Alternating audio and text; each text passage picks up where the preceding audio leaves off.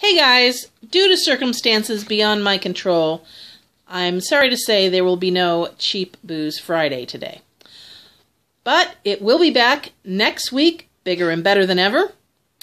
I wish you guys a super cool Halloween. Eat lots of great stuff. And uh, we will see you next time. Take care. Bye bye.